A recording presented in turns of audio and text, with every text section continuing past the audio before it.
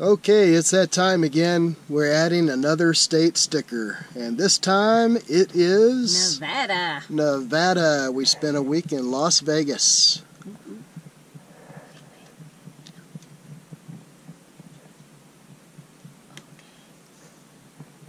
Oh.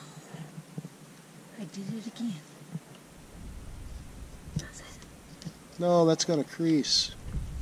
Okay, let me try it. Let me start over. There goes that.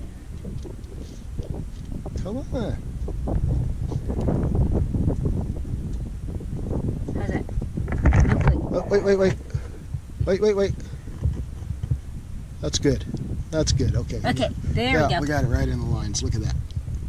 So now we've got Nevada. Woohoo! Woo. Oh, yeah.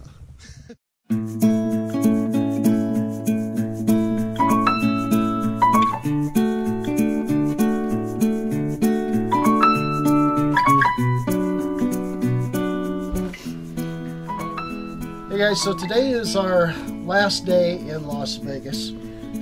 Oh yeah, terrible. And Yeah. uh, we're going to be leaving and heading east. And uh, I, we're starting to, you know, get things ready to go here in the RV. And I came in and Maria had gotten our bug out bag out, and she was going through it, uh, making, you know, repacking it or whatever. So I thought maybe this would be a good time to show you guys that, tell you what it is and uh, why we have one, and uh, so she, so she's got it all laid out pretty for you here on the bed. Uh, and I'll let her explain to you what a bug out bag is. You want to explain what to them what a bug out bag is? Well, um, in case you have to get out of the RV real quick, um, middle of the night, you're in your PJs, um, and you'll have to change your clothes. Right. They're s- In Right. The Jeep. Okay, so check this out. Here's the scenario, and I and, I, and I've talked about this before in videos. It's uh, you know, like two thirty in the morning. Uh, all of a sudden, you, you know, you're in bed asleep, and the fire alarms start going off. And what you're supposed to do is get out that window. Okay, uh, because the fire is probably in that direction. So you want to get out of that window, and uh, like I said, it's two thirty, three o'clock in the morning, and you have to, you know, jump for your life, I guess, and try not to leave body parts on the window.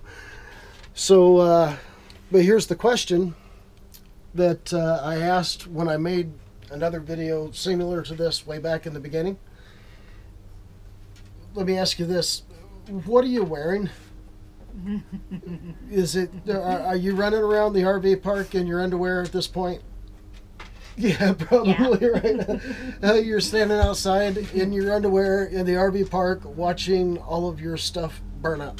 Okay, so and you know that that's not such a. I mean, it sounds funny, but that's not such a far fetched scenario. Uh, you know, if you're on Facebook or uh, anywhere in the RVing community, as spring comes on, we start seeing more and more RV fires for whatever reason. So, this is something to think about, okay? Uh, so, the RVer bug out bag, we call it, is just a bag with a change of clothes, uh, including, yeah, including some shoes, okay? And to this, A little jacket. yeah, a jacket each, a change of clothes each, a different pair of shoes each, okay? And to this, we will add some spare keys and some copies of some paperwork, you know, insurance cards, that kind of thing, that would also be, you know, burning up in the RV. And once we put all that into the bag, of course, the shoes don't fit, they just go where the bag goes. Uh, we will put this bag in the Jeep. And that's where we keep this bag with all this kind of stuff in it. So that uh, when that scenario should that scenario god forbid ever does happen to us we won't have to run around the rv park in our underwear. Trying to figure out uh, you know what we're going to uh, put on or i don't know just seems, seems funny to me but uh, it, it's it's not really uh, so that's what our RVer bug out bag is and uh, there you go. There we go. Good morning, everyone. Matt and Maria, Nomadic Native, back with you. Thanks for tuning in. That was really good. Uh, it's uh, March 2nd, uh, about 9.30, and we are leaving Quartzsite for the last time this year. Yeah, last time this year we're leaving Roadrunner BLM. Yep. Matt's driving. He beat me up, and no, that's a lie. We flipped a coin, and he won. And we are going to take 95 south to Yuma and then take 8 into Tucson.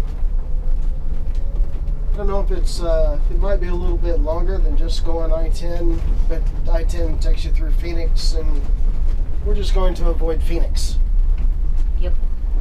Turn right on US 95. Yes, ma'am. it's a pretty morning.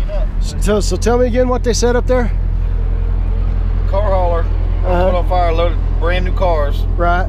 He disconnected his tractor from the trailer, Uh-huh. saved three cars in his tractor, and he's got six, six, six brand new cars on his trailer burning to the ground. Holy cow. So that's what that fire is up there, guys. the fire is. They got the they got the highway shut down up there. I guess people ain't getting by. I still see people coming in this direction, but I guess uh, people on this side of the road are being stopped. I guess. Yeah, Oh, it's backing up. They can't. They can't go past. they can't go past at all.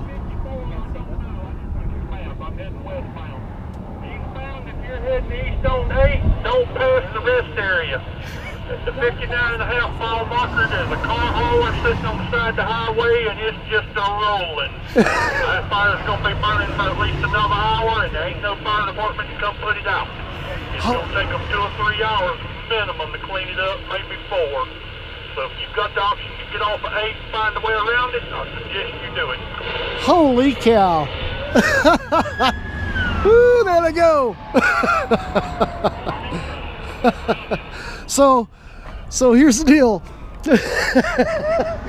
uh, they got no way to put the fire out. Evidently, there ain't no fire departments within, you know, driving distance or whatever. So, the truck's just sitting on the side of the road with a bunch of cars on the back of it burning up. There ain't no way to put out the fire. Sounds like we're gonna be here for quite a while waiting on this. So, well, they did finally get looks like some type of rural fire truck out here, but it was after the thing had burnt to the ground.